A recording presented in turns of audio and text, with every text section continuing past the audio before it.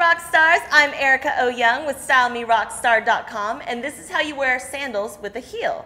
Now, sandals with a heel are a great look for summer. That's a little bit dressy, but still a little bit casual. So you can wear it in day or you can wear it in night. If you're going for more of a casual look, I would do what we did right here, is you go ahead and pair it with a typical springtime, summertime staple, which is shorts, belt, accessories, and a simple gray tank or any color that you choose. Go ahead and pair these with that outfit and it's instantly a little bit dressy. I also love that the sandals with the heel also gives you a little bit more of a leg line. It helps you elongate the form and gives you a little bit more height, which all of us ladies, you know we love that. All right guys, so this is how you wear sandals with a heel. I'm Erica O'Young Young from StyleMeRockstar.com.